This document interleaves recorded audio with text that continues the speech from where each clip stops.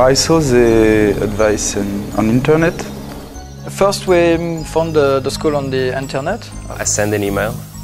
Maybe two, three hours later, I get a response from Oshra. Uh, I remember phone, uh, making the phone call to Oshra, and Oshra was uh, very nice, very nice to, to me. Uh, gave all the right answers that I was looking for. And so I decided these guys are really good for us. They, they give me the right answers that I was looking for. They're being honest, so I decided let's, let's stick with them. Quality and price, and of course the location should be not far away. So all the infrastructure should be fine. Also for uh, in between, after study, you have to have a nice leisure life also beside, because you need to shut off your your head a little bit and go for a gym, a run, a nice uh, steak in the evening, something like that.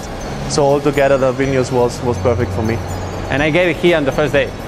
I said, I'm in the right place. I really enjoy it.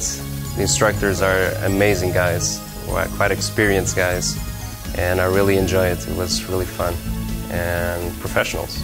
The instructors were spectacular. We had very good flight instructor.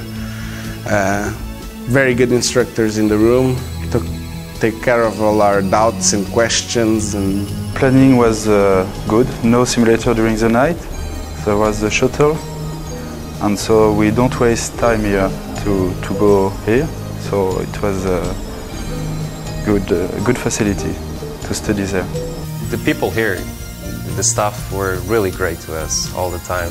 Really nice, always asking if we are okay, what our needs and really focus on our our staying here, our uh, the way we we react with situations, the way we felt with Baltica, the way we felt with Lithuania. They are always concerned about us, and that's I think that's the best part.